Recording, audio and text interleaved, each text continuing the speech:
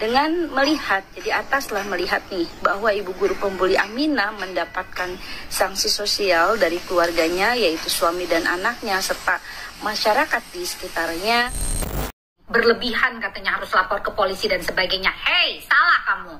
Oke? Okay? Jadi, ini untuk kesehatan mental. Siapa pun yang membuli itu tidak boleh.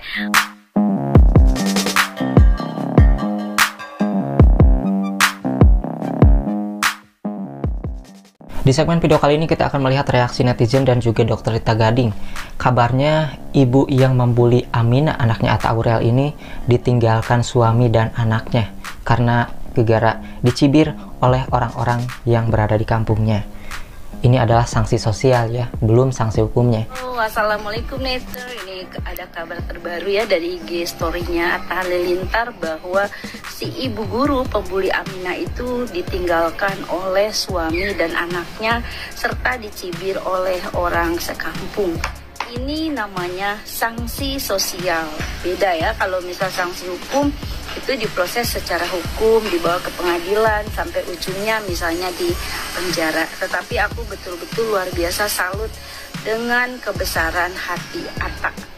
Dengan melihat jadi ataslah melihat nih bahwa ibu guru pembuli Amina mendapatkan sanksi sosial dari keluarganya yaitu suami dan anaknya serta masyarakat di sekitarnya Atta mulai bimbang nih apakah dia akan melanjutkan ke proses hukum atau dia akan berhenti?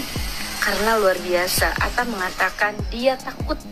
Justru dia akan menjolimi si ibu pembuli Amina. Padahal Atta dan keluarga terutama Amina itu sudah dizolimi duluan oleh ibu guru itu.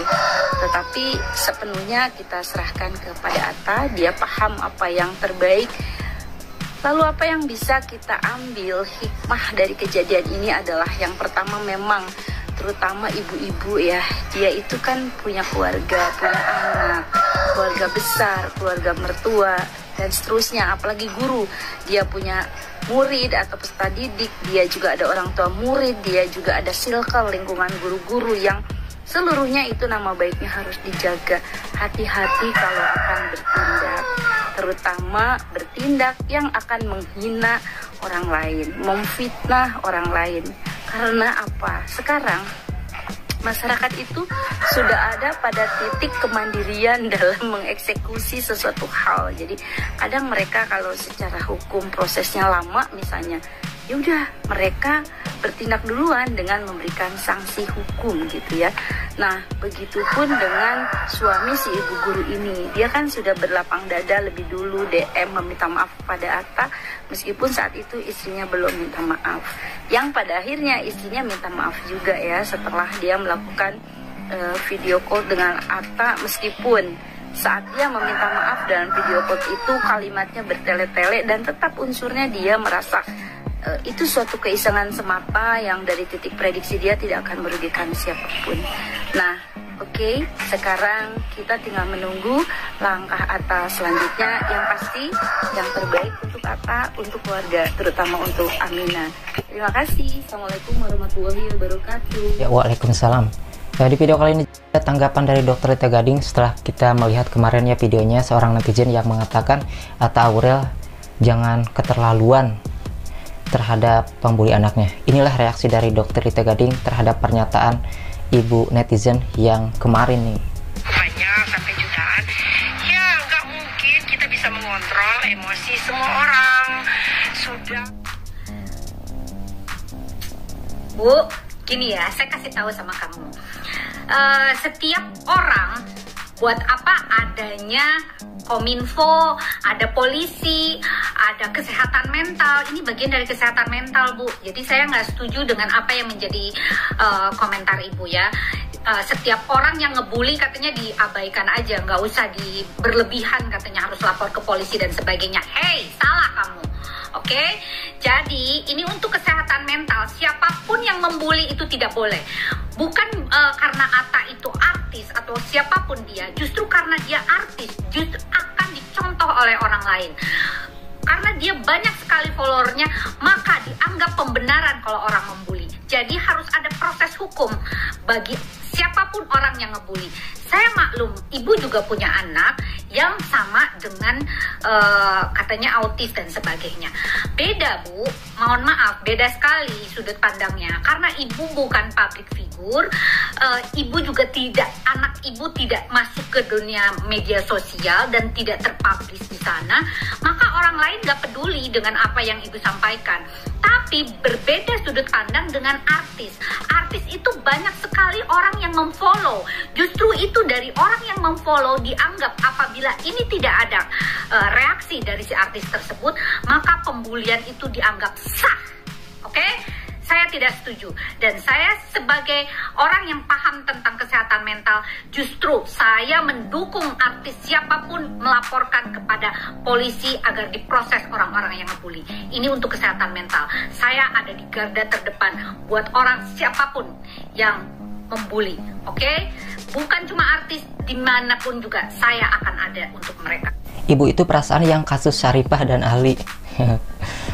ya kan ya kak. Saya lagi ingatnya begitu sih ibu itu yang punya laut ya kan? Jadi waktu Asib Ali dan Syarifah beritanya viral viralnya itu jadi netizen tersebut yang dikomentari oleh dokter Rita Gading ini adalah seorang ibu yang mengaku-ngaku sebagai ibunya Syarifah padahal bukan dia adalah seorang netizen. Pada waktu itu dia mengaku punya laut dan punya segalanya biar terdepan untuk kebenaran. Ya ternyata parah juga ya sanksi sosial yang dialami oleh si pembuli Amina ini ditinggalkan suami sama anaknya dan itu ada di Instagram story Atta Halilintar. Jadi Atta merasa kasihan juga takutnya menzolimi si pembuli anaknya tersebut padahal secara yang duluan kan si pembulinya. Mungkin Atta berpikir lagi apakah proses hukum akan dilanjutkan atau enggak kalau sudah melihat si ibu ini kena sanksi sosial udah dicibir sama orang-orang di kampung wah udah parah banget. Kapokah beliau kira-kira ya si oknum pembuli Amina ini banyak sekali kalangan para netizen yang setuju memang ibu tersebut dibuat efek jerak dibuat efek jerak. Entah itu sanksi sosial ataupun uh, sanksi hukum. Tetapi Atta masih berpikir-pikir lagi kalau udah kayak gitu mungkin Atta memiliki hati yang sangat lembut. Kasihan sama si oknum guru tersebut yang di mana memang suaminya adalah seorang polisi yang sudah dipanggil oleh propam juga tentunya ini bisa mencoreng nama institusinya. Suaminya gak mau tersangkut hukum sosial lebih menyakitkan. Suaminya gak mau tersangkut mungkin suaminya bukan karena gak mau tersangkut tapi suaminya sudah gak sanggup dengan kelakuan bininya. Ya mungkin juga karena katanya dia sombong. Sekarang bikin masalah di lingkungannya. Suaminya juga bisa aja dipecat ya bu. Kalau diproses. Dia kemarin di propam dipanggil untuk dimintai keterangan aja klarifikasi. Jadi nggak ada sanksi terhadap suaminya karena memang suaminya nggak salah. Kasihan juga bu gurunya kalau sampai dia ditinggal sama suami dan anaknya. Semoga tidak ada lagi orang-orang yang menyakiti keluarga. Betul proses aja secara hukum biar dia kapok. Sanksi sosial lebih menyakitkan dari hukuman penjara. Ya sama-sama lah. Sama-sama bikin efek jerah baik itu sanksi sosial dan juga sanksi hukum lengkap penderitaannya peringatan untuk kita semua. Jari-jari mulut harus hati-hati di sosmed. Betul sekali setuju bunda. Ya itulah video-video yang kita react dari dokter Rita Gading juga netizen terkait kabar oknum guru yang membuli Amina ternyata mendapatkan sanksi sosial mulai dari ditinggal sang suami dan anaknya dan juga dicibir oleh orang-orang yang berada di kampung sekitarnya